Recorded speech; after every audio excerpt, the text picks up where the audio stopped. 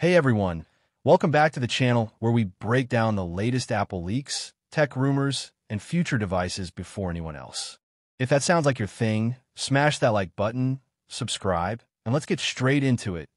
The M5 chip Apple is reportedly pushing the boundaries with a new 3 nanometers or maybe even 2 nanometers process. Translation?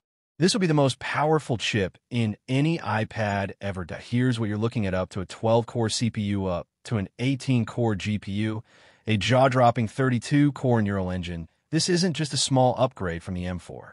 Whether you're editing 8K videos on the fly, gaming with console-level graphics, or building AI models in real time, the M5 iPad Pro will power through it without breaking a sweat. The display revolution. OLED plus Dynamic Island next up, the display. And wow, this might be the biggest leap yet. Leaks say Apple's going tandem OLED, meaning richer colors, insane contrast, and ProMotion 2.0 that could even push past 120 Hz for the smoothest touch experience ever on a tablet. But wait, Dynamic Island is finally coming to the iPad Pro. Notifications, multitasking widgets, background activities all elegantly popping out from the top of your screen. Imagine editing a video while your iPad quietly processes a real-time render in the background or gaming while keeping your chat open, all within this floating dynamic interface. This could finally unlock the iPad's true multitasking potential. iPadOS 19. AI takes over, and to make all this power usable, Apple shipping the M5. iPad Pro with iPadOS 19. Think AI first features like Smart multitasking that predicts what you'll open next universal control plus 4 buttery, smooth control across your Mac, iPhone, and iPad on-device Siri 2.0 that's smarter and faster than ever context-aware workflows that adjust your workspace automatically based on what you're doing and with macOS Sequoia, sharing some of these features.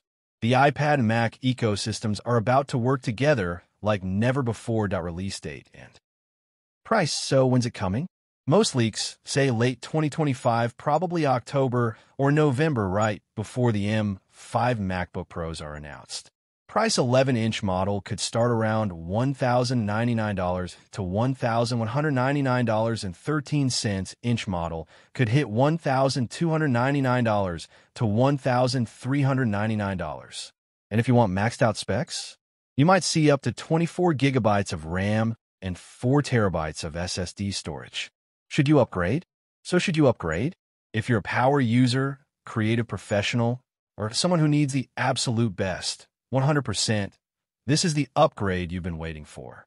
Laptop level performance, desktop grade multitasking, and an ultra premium OLED display. This isn't just an iPad Pro. It's basically an iPad Ultra. But what about you? Are you hyped for the new OLED display? The Monster M5 chip?